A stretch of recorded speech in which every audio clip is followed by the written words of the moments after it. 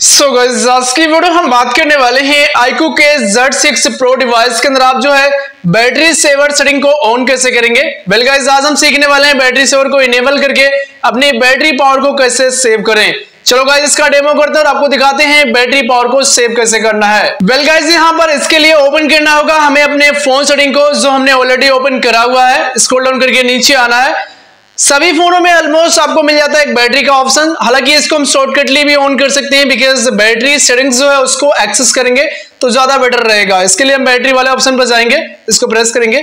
46 percent हमारी battery है। अब वो भी ये बची हुई है।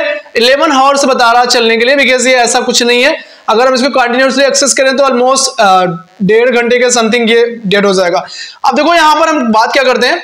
यहाँ पर अगर आपको बैटरी सेवर ऑन करना है, उससे पहले कुछ मल्टीपल सेटिंग्स को भी देख लेते हैं। हाइयर पावर बैटरी यूज़र्स का ऑप्शन है। इसको प्रेस करेंगे तो जो सबसे हाईएस्ट एप्लीकेशन बैटरी का कंजप्शन करता है, वो यहाँ पर मिल जाएगा।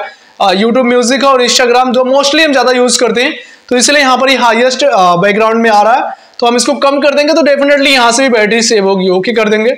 इसके बाद बैटरी यूजेस है। आपने फुल चार्ज करा अपनी बैटरी को इवन कहाँ कहाँ यूज़ हुआ, कौन सी एप्लीकेशन के साथ यूज़ हुआ, कौन से सिस्टम के साथ हुआ, उसके लिए बैटरी यूज़र्स पे क्लिक करके आप यहाँ पर देख सकते हैं।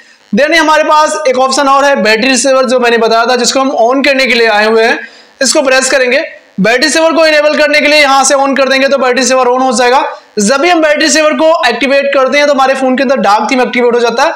तो यहाँ पर लाइट थीम के कंपेयर में डार्क थीम ज़्यादा बेटर होता है बैटरी पावर को सेव करने के लिए। इसके बाद यहाँ सेट शेड्यूल का ऑप्शन है। आप चाहे तो बेस्ट ऑन परसेंटेज सेट कर सकते हैं। जिस तरह से आपकी बैटरी 15 या 20 परसेंट पर आती है तो आपको बताता है कि आपकी बैटरी लो हो चुकी है। क्या आप डार्क मोड को सॉरी बैटरी सेवर को ऑन करना चाहते हैं तो बहुत लोग वहीं पर ऑन कर देते हैं, बहुत लोग कैंसिल कर देते हैं। तो ये बेस्ट ऑन परसेंटेज उसके लिए है, आप उसको सेट कर सकते हैं। इसके बाद नीचे देखेंगे वेन टर्न वेन ऑफ़ यहाँ पर आपको turn off when charger 90 percent charge हो जाता है तो अगर आपने बैटरी सेवर को लगा के रखा मीन्स की ऑन करके रखा तो ऑटोमेटिक ऑफ़ हो जाता है। तो वो सारी चीज़ें कर सकते हैं। फ़िलहाल एक सेटिंग इसके अंदर है जो इंपॉर्टेंट है, वो है बैकग्राउंड पावर कंजप्शन मैनेजमेंट इसको प्रेस करना। जितनी भी एप्लीकेशन बैकग्राउंड में रन करती है बहुत सारे नोटिफिकेशन वगैरह को एक्सेस करती रहती हैं। तो जब नोटिफिकेशन एक्सेस होता है तो वहाँ पर डाटा और पावर दोनों का कंजप्शन होता है।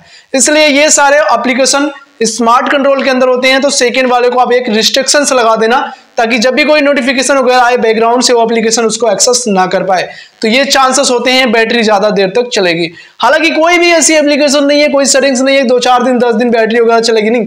हर एक एंड्रॉइड स्मार्टफ़ोन ऑलमोस्ट आपके यूज़ के ऊपर डिपेंड करता है तो फाइव से सिक्स आवर्स में ही वो किल हो जाएगा अगर आप उसको कंटिन्यूसली एक्सेस करते हो इंटरनेट के साथ। तो आप लोगों को बहुत सारी वीडियोस देखने को मिलती है। वो सारी की सारी एक तरीके से कह सकते हो फेक होती है, ऐसा कुछ भी नहीं होता। डिपेंड करता है आप क्या यूज़ कर रहे हो। उसी हिसाब से आपका बैकअप देता है फ़ोन तो आई थिंक गाइस समझे होंगे? बैटरी सेवर को इनेबल कैसे करना है? एंड गाइस फिर भी कोई कंफ्यूजिंग होती है इसके रिगार्डिंग कमेंट सेक्शन नीचे है, आप में कमेंट करके पूछ सकते हैं।